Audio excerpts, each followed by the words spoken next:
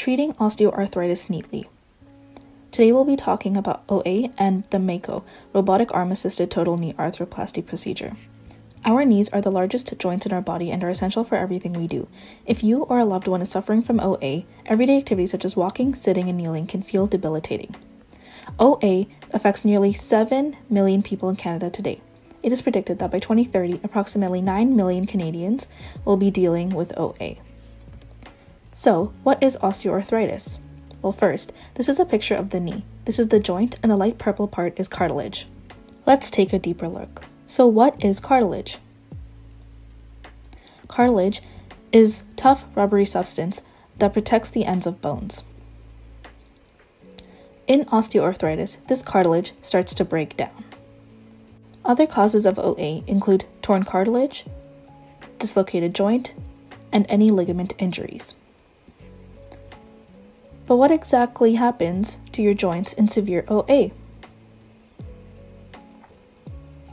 First, bone spurs, which are small growths of bone, form. Because the cartilage wears away, the joint space narrows, and that causes bone to move against bone. Accordingly, the symptoms of OA include pain, stiffness, inflammation, and decreased range of motion. Common treatments include weight loss, exercise, corticosteroid injections, NSAIDs, wearing knee braces, wearing heel wedges, physiotherapy, and total knee arthroplasty, also known as TKA. Now, let's talk about total knee arthroplasty, or TKA. TKA is a surgical procedure where metal and plastic parts are used to cap the ends of bones that form the knee joint along the kneecap to allow for pain relief. In other words, TKA addresses osteoarthritis and its symptoms by surgically adding new bone ends. Did you know that OA is the most common form of arthritis and the most common chronic joint condition in Canada? Accordingly, 75,000 TKAs were performed in Canada from 2018 to 2019 to address osteoarthritis. Let's now talk about how TKA is performed by orthopedic surgeons. The kneecap is moved to one side and the damaged cartilage and joint is cut away along with some of the bone underneath. The damaged cartilage and bone are replaced with metal implants to make for new joint surfaces. These metal pieces are held in place with cement or they are press fit into your bones. The underside of your kneecap may also get a new surface. A plastic spacer is put between the metal parts of your new joint to make a smooth, gliding surface for your joint. Your surgeon will bend and rotate your knee to make sure it works the way it should before closing the cut he made. New technology is constantly being invented to optimize procedures and reduce complications. Now, TKA is being combined with a new technology that is revolutionary in the field of orthopedics. Meet the Mako Rio robot. The Mako robotic arm assisted technology system uses 3D imaging technology and miniaturized surgical instruments. This system is used by surgeons to perform total knee replacement surgery. This unique technology helps surgeons provide a personalized surgical experience where each surgical plan is based on patient specific diagnosis and anatomy. Let's take a look at how it works. There are four basic steps for using the Mako technology. Step 1 Preparing a personalized surgical plan. Step 2 Conducting a range of motion assessment. Step 3 Arthritic bone removal. And step 4 Placing the implants in the joint. The first step is that the surgeon will create a personalized surgical plan. CT data is collected to create a 3D model of the patient's bone anatomy. Mako Total Knee application allows you to position the metal implants on the patient's virtual anatomy before the procedure. This specific preoperative plan allows for a more optimal size, placement, and alignment of the implant. The second step is assessing the range of motion. During the surgery, the surgeon locates points on the knee to register the anatomy on the Mako system. This process allows the surgeon to align or match the patient's anatomy in the OR and the 3D model that was used during the planning process. This ensures the procedure is executed according to plan.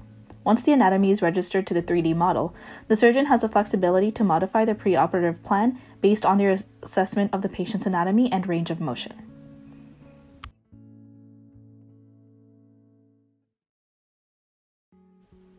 The next step is the removal of the arthritic bone. During this step, the Mako robotic arm removes the arthritic bone and cartilage from the knee. A virtual boundary provides tactile resistance, which helps prevent the surgeon from moving from the restricted boundaries in the surgery plan. The final step is the implant placement, which goes into the joint after having the diseased bone removed. After this, the surgical procedure is now complete, but the patient must go into the recovery room to strengthen the new joint. Like every technology, Mako has both benefits and drawbacks. We'll first describe some benefits. Firstly, this procedure enables surgeons to execute their surgical plans more accurately. This is because the patient's personalized surgical plan is based on their anatomy. Another benefit is that the Mako arthroplasty procedure is precise and thus reduces the risk of complications. The robot helps the surgeon locate the cuts in predefined areas and helps the surgeon to avoid moving out of those boundaries. Additionally, the Mako procedure leads to less pain and has a quicker recovery time than the traditional joint replacement procedure. Patients who received the Mako surgery reported lower pain scores, early function scores, and better satisfaction scores six months after the surgery than those who received a conventional joint replacement. The reason behind this is because the Mako procedure is more accurate and has a higher level of precision. Further, following the procedure, patients experienced reduced blood loss and less scarring as the incision was smaller compared to conventional surgical methods. In addition, there was less wear and tear on the implants, reduced loosening of the implant, and the soft tissue and ligaments of the patients were better protected following the Mako assisted TKA instead of the conventional TKA. Just like every other procedure, Mako assisted TKA has its disadvantages. Firstly, this system is not accessible to everyone as it is extremely expensive to buy and operate. Secondly, performing the Mako assisted TKA requires extensive training and experience to optimize the workflow of the procedure. Some surgeons may feel more comfortable performing the conventional joint replacement surgery that they are used to. Further, surgical times of the Mako assisted TKA are slightly longer than conventional joint replacement surgeries. This may prevent surgeons from recommending this procedure, as longer procedure times may increase the risk of infection for patients. A final disadvantage is that the Mako assisted TKA is a relatively new procedure. There is only early evidence of its efficacy in treating osteoarthritis. So, it is difficult to evaluate the long term performance of the implant in comparison to the proven efficacy of prosthesis used in traditional joint replacement procedures. The Mako Rio technology was first introduced in 2006, and since then, it has gained quite a bit of traction in the scientific and medical communities. Steve Jobs once said that once in a while, a revolutionary product comes along that changes everything. And it is this Mako Rio technology that is revolutionizing the field of orthopedics. We hope that you were able to learn a little bit about osteoarthritis, the revolutionary Mako robotic arm, and its application with total knee arthroplasty through this video.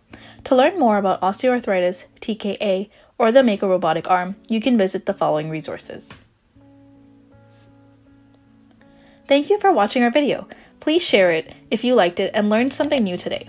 Don't forget to subscribe to the McMaster University Demystifying Medicine channel to stay up to date on science, technology, and health topics. Until next time, that's goodbye for now.